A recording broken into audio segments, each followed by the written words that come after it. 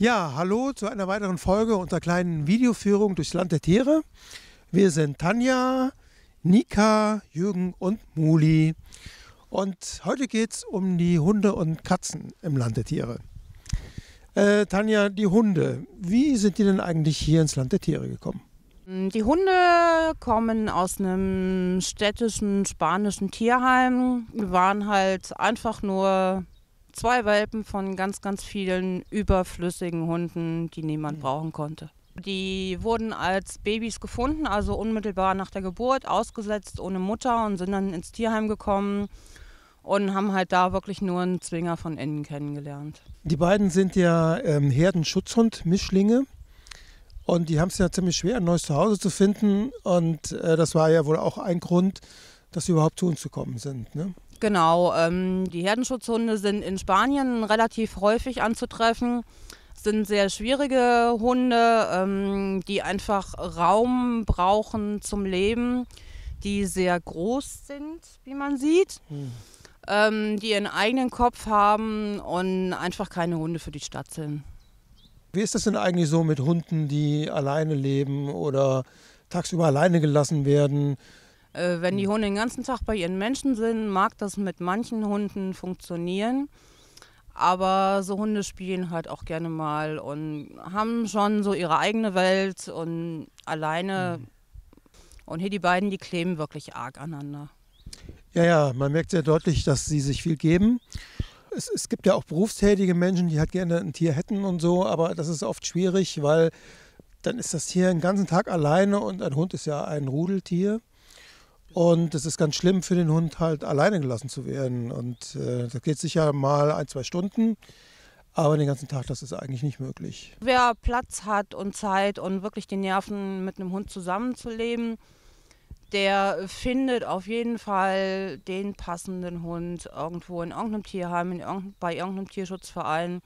Und halt ganz egal, ob in Deutschland oder im benachbarten Ausland oder wo auch immer. Äh, Muli und Nika, die beiden sind ja eigentlich sehr unterschiedlich, obwohl es Geschwister sind, ne? Ja, das sind ähm, tatsächlich ähm, Schwestern. Und die Nika, die Nika ist so die, die sanfte, vorsichtige, ängstliche. Und fremde Menschen sind auch nicht so ihr Ding. Und Muli ist so, ja, die Wächterin, die Aufmerksame, die Krawalltante, die Hyperaktive, ähm, die auch 20 Kilometer am Stück rennt, wenn sie irgendwo einen Feind entdeckt hat. Ja, ja, sie passen ja hier auf, sie machen ja ihren Job hier als Herdenschutzhund. Genau, sie machen es halt, weil sie einfach so sind. Weil sie Lust drauf haben. Und eigentlich kennen Sie hier alle Tiere, die hier leben, ne? Ja, sie kennen alle. Manche können sie gut leiden, manche können sie nicht leiden. Die sie nicht leiden können, ist die Kugelkatze. Und wen sie lieben, das ist Klaus. Genau. Also sie unterscheiden schon zwischen Katze und Katze? Ja, auf jeden Fall. Also ich glaube besonders Nika äh, liebt Klaus abgöttisch. Und äh, die Kugelkatze, ähm, die ist hier irgendwie ähm, noch nicht so lange da wie Klaus, erst drei Jahre oder so. und äh, da ist noch nicht so die Harmonie eingekehrt zwischen den Hunden und der Kugelkatze. Nee, das wird wohl auch nichts werden. Ja, die Katzen, ähm, die leben ja hier auch bei uns in den Wohnungen halt und halt draußen, wie sie wollen. Äh, sie beide können sich aber auch nicht leiden, ne? Nö, die sind halt beide relativ speziell und die Kugel ist ganz speziell. Und die haben also wirklich so ihr Territorium und das wird auch verteidigt, ne? Genau.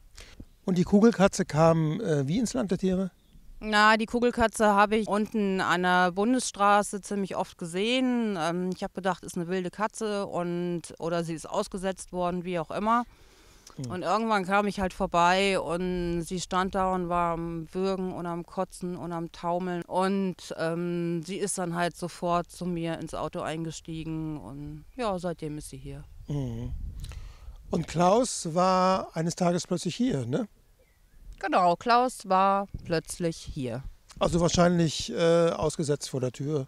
Genau, da war halt nachts zufällig ein Auto vor der Tür und zufällig hörte man eine Autotür und ganz zufällig war eine Stunde später ein kleiner verwirrter Klaus hier vorne vorm Haus. Mhm. Klaus hat sich ja auch mit allen Tieren hier angefreundet, das ist eher so der Typ. der Typ, äh, der so ein bisschen harmoniebedürftig ist.